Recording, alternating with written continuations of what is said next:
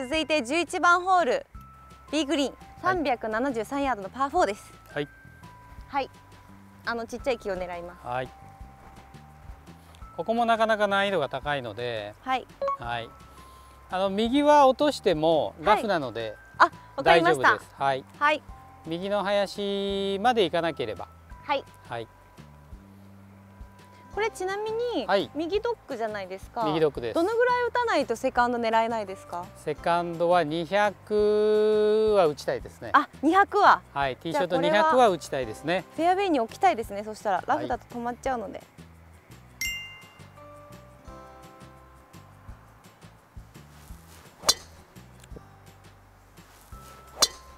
おーナイスボール。ありがとうございます。200これいってほしい。めちゃくちゃいってナイスショットナイスショット言ありがとうございます。やった。ありがとうございます。ナイスショットです。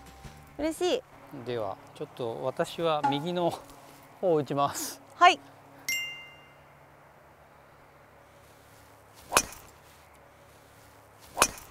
えー、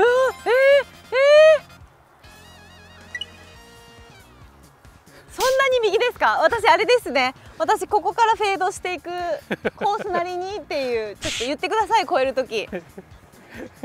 言ってください。ちょっと心の準備が一瞬ファーって言いそうになりました。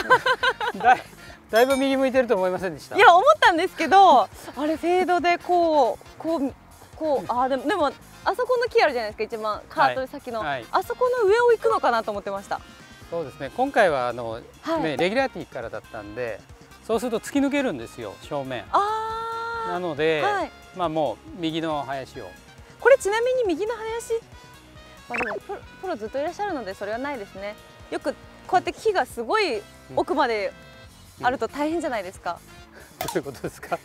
木が奥まであると。そうあ向こうまでね。そうです、ん。こういうふうになってたら。向こう向こうまでなだらかにあるんですけど、はい。ここからだったら、はい。あの多分超えるなと思ってよい子は真似しないでください。ボールがなくなります。すごいちょっと行ってみましょう。はい。すごいとこ行きましたよ。行きましたかね？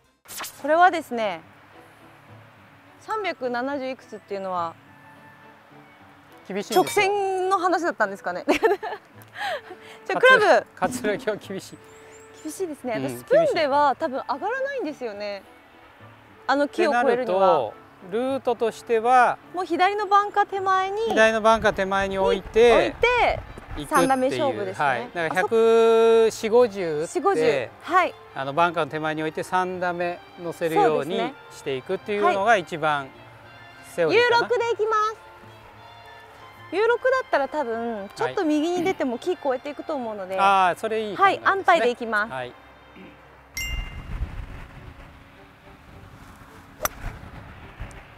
オッケーはいありがとうございます。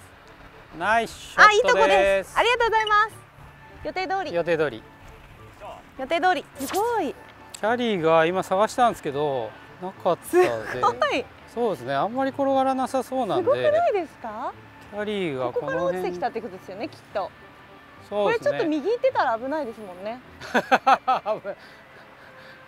こっちだとい。これだと怖くないですか、これはもしかしたら枝にはカサカサってなったかもしれないですね。いやなってないと思います。多分綺麗に多分こっちから。すごい。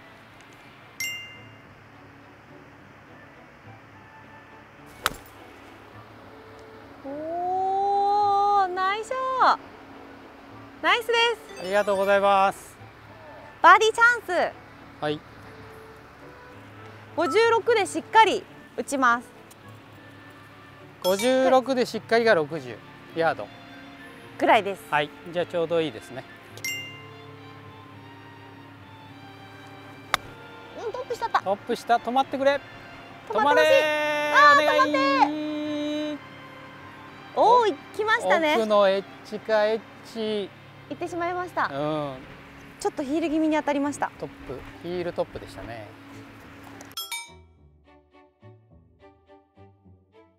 そうですね。あとは距離的にちょっとこうギリギリっていうのもあるんで、うん。あのしっかり飛ばさなきゃっていうのがそうですね。やっぱりサンドウェッジとかは芯外す原因だったりするんですよね。ギリ残っていうんる。あ残った。でも上から難しそうでいですすよね。難しそうですねこれは。どうですか？難しいですねこれは。結構フックしてきますよね。ザ・葛城こういういいコースはね上につけちゃいけないんですよね。これ何が難しいかってここことその下の距離感そうその辺でしょうね。そうですよね。うん。ここら辺で止めるぐらいのイメージじゃないとダメですよね、自分の場合はねここからどれぐらいの強さかなって見るんですよね、もうほんのちょっとだけポンってやればいっちゃいますよね。そうですね。ってことはここまでももうそういうスピードでっていうちょっと2段あ2段で考えるんですよ。ー怖い。ここで止まっても嫌ですしねそはい。れだったらオーバーしてもそうショートだったらオーバーして次が上りの方が。はいまだいいです。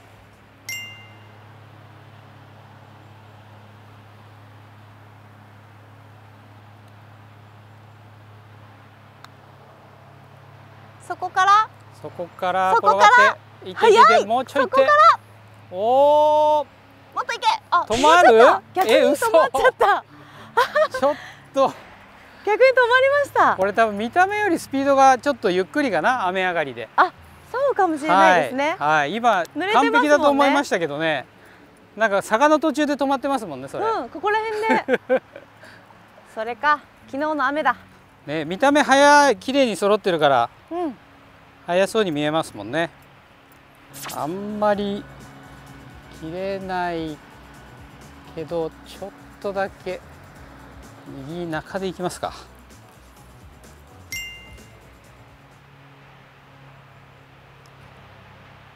あー全然切れなかった。惜しい。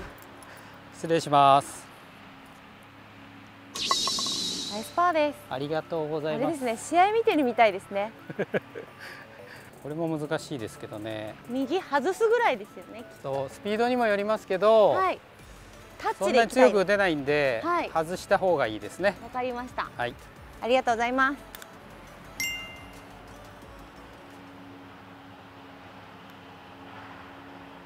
抜けた。早い。抜けた。しっかり打ってた。はい。ナイスリーパット。ありしょうががとうございいです、はい。ありがとうございます はいということで11番ホールも回ってきたんですけれども今ですねちょっと状況別のレッスンしていただきたいなと思います、状況別はいはい。お願いします、はい。でさっき私、はい。あのボールもうちょっと向こうにあったんですけれども、うん。今ちょっとバンカーの手前に置きました、はい。でこの状況って、はい、あの見ていただくと結構心理的に思いやられる 状況といいますねか、大きなバンカーがあって、はい。その向こうにねちょっとコブっぽい。そうグリーンの面がはい。ないと、そうなんです、うん。なのでやっぱりしっかり乗せなきゃいけないけれども、はい。でもあんまり打ちすぎるとオーバーしちゃうし、はいはい。こういう時結構やっぱりミスが増えると思うんですけれども、うんそうですね。アマチュア。難しい状況ですね。はい、はい。どうやって打ってますか？多分もしかしたらプロは、はい。あの何も考えずに、はい。ほとんど見えてない状態で打ってるかもしれないんですけど、はい。そのアマチュアの私たちにアドバイスとしするとしたら、うん。こういうふうに打ったらいいよとか。なるほど、そうですね。あのまずははいあの当てに行くことはやっぱり一番ミスにつながるんですね、はい。なのでこうテイクバックが大きくて、うん。フォローが小さい。っていうのは、やっぱりミスにつながりやすいのではい、はい、テイクバック取ったらフォローするも同じぐらい、同じぐら、はいい、もしくはテイクバック以上のフォローを取るようにするとそのインパクトの調整っていうのしにくくなるんで、あー。ああのまずそれが大事だと思います。はい。であとは打つ前にうん。この芝を少しうん削ってでもいいので自分のこうはい。入る場所、ーうん。この入る場所を明確にしとくってことですね。あーどこにクラブが落ちていて、は、はい。こういうふうにトンとこういはい。入るとこありますよね。はい。でこれ多分アマチュアの方はこっち行ったりこっち行ったりすると思うんですよ。はい。でもこれ毎回こうやって癖付けしてると、はい。同じようなところに落ちるようになってくるので、はい、はい。落ちてます。なので、まあ、その癖をつける、まあ、ボールの手前想定して、あの自分でここにうんうん。行くよと。でそはい。の時にさっき言った、こうこうじゃなくてうん。うんこうじゃなくて、はい。左右対称でそこに落ちるようにとか、はフォロースルーをちゃんとしっかりはい。大きく取る時にそこに落ちるようにっていうふうにあのこっち側よりも、うん。こっち側の方が大事なんですね。そうです。左側の方が大事です。こっち側の方が大事、はい、左側を大きく大きくする方が、はい。はい。あの小細工してないのであの長い目で見るとそっちの方が、い、あのいいのが作れていくと思いますのであのそういう癖を、はい。その2つのポイントねはい。気をつけながらこうクリアしていただくのが一番いいのかなっていうふうにねあの思います。やっぱクラブ入るとこは非常に大事、大事そうですね、これがバララバラだとどんな打ち方してもはい。ダメなので、私さっきもしかしたらそんな感じだった気がします。あのテイクバックした瞬間に大きいって思っちゃうんですよ。はい、だから多分こう手で止めちゃって手でいってるのかなっていう、うん。あーあなのでりますねこれは。おそらくアマチュアの方っていうのは、やっぱり飛ぶことよりも飛ばないことの方が多いじゃないですか、そうですね。それはその当たりが悪いとかいろんはない。条件があるけど、はい、でそのための十分なバックスイングを取ろうとしがちなんですよね。だけど、はい。逆にあの自分たち思うのはもう、うん。えここからだとそんなに飛ばないよねっていうところまで上げてそこから頑張る。あそういうう癖をつけた方が、はい。あのいい方向に行くと思います。ちょっと打ってみたいですね。逆にテイクバック小さくしてフォロー大きくする。そうですそうです。あー。うんやってみましょう。ちょっと試しにテイクバックよりもフォロースルーを大きくや大ってみたいと思います。テイクバックはこれじゃちょっと不安だなぐらいで。そうです。ははい。い、やってみたいで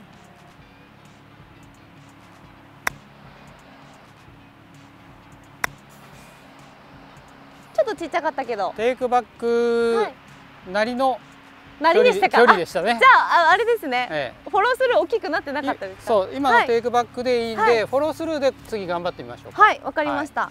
今距離感分かりましたよね、はい。あれプラスアルファフォローで出します。はい。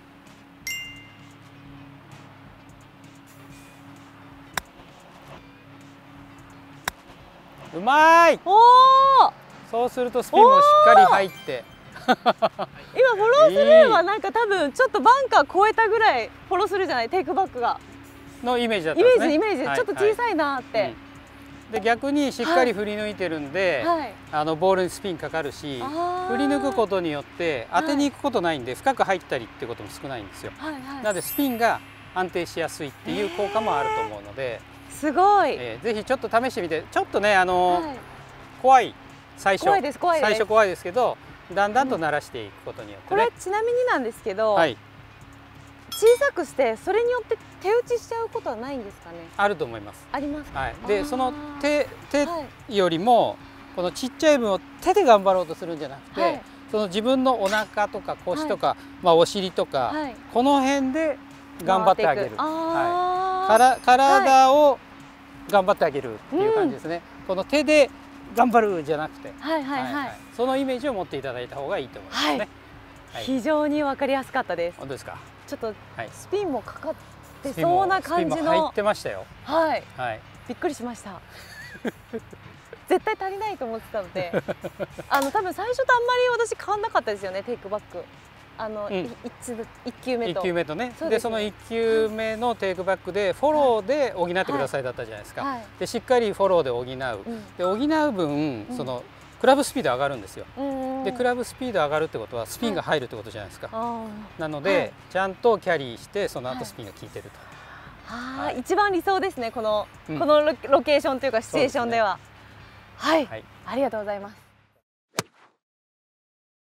はいということでレッスンからラウンドレッスンまで、本当にありがとうございます。こちらこそありがとうございました、はい、ちょっとあの難しい部分もあったんですけども、はい。ちょっと練習して自分のものにしたいなうんとそうですね。思います。あのーまあ前も言いましたけどはい、はい、ゴルフは決して簡単じゃないのでそうですね。やっぱりはい、ある程度の練習、はい。そして勇気はい、みたいなものがあの上達につながっていくと思うんで、はい。あのぜひねこの動画を見ながら、そうですね。うんあの簡単に上手くなるっていうのは、い。なかなかありませんのでね,、ですねあの練習を頑張っていただきたいなと、頑張ります。またちょっとこのフックができて、フックのボールが出るようになったら前回の動画見て、はいスライス出たら今回の動画また見て、はいあ前回のドライバーですね。はい練習したいと思います。はい、はい、ということで今回もいろいろ本当にありがとうございました。桂夢でまありがとうございました。また来てください。またあの 来てください悩みまた来て悩み事くださいって自分が言って またあの、はなんていうんですかね、ええ。私の悩みとか皆さん聞きたいことがあったらまたちょっと藤田プロ。もうわ私でよければ、ええちょっと ちょっと変わ変わってますけどね。いやでそんなことないゴルフ難しいとか言いますけど。そん、なことないです、はい。い、や難しいです。私の知識は。